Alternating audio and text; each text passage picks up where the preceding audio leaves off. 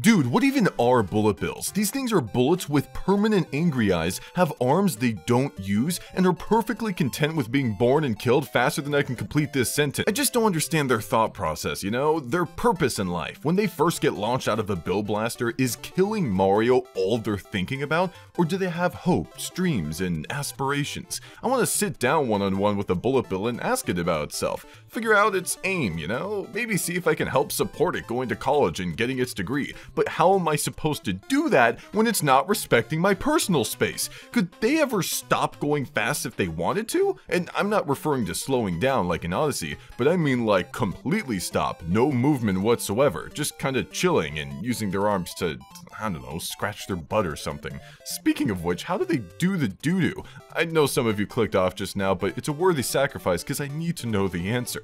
Like, you know how humans can breathe in oxygen and put in food through their mouths? What if the end of a bullet bill's like that, where it can blast out whatever it needs to when it's time. Crap, what if all the flames it what if all the flames is crap to a bullet bill? Do you know how painful that sounds? But then would that mean that certain bullet bills don't have to do that stuff at all? I mean, the OG bullet bills don't have the flamey bit. Heck, the ones from New Super Mario Bros. just kind of poof.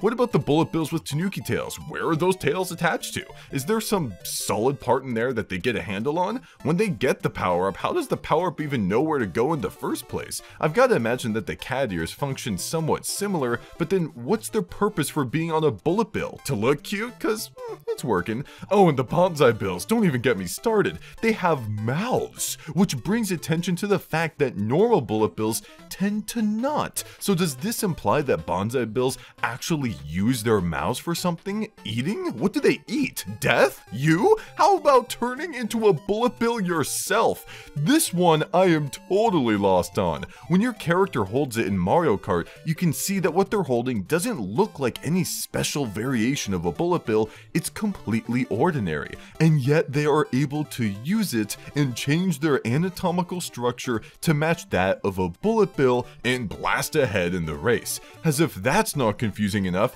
you've got to keep in mind that not only are they becoming a bullet bill, but the vehicle they're driving is too. So does that mean whenever you use a bullet bill in Mario Kart that you're fusing with your vehicle for the duration of this ability? How does that work? And finally, what am I supposed to make of the freaking sniper bill? Why has no one told me about this guy? It is a bullet bill shooting at you with a sniper rifle. Aside from it actually using its arms for I find this concept terrifying. It is using its own kind as ammunition to fill you with. Can you even fathom what kind of sick mind it has to be doing something like that? I mean, sure, it launches itself at you too, but what gave it the idea to crush bullet bills into this thing in the first place?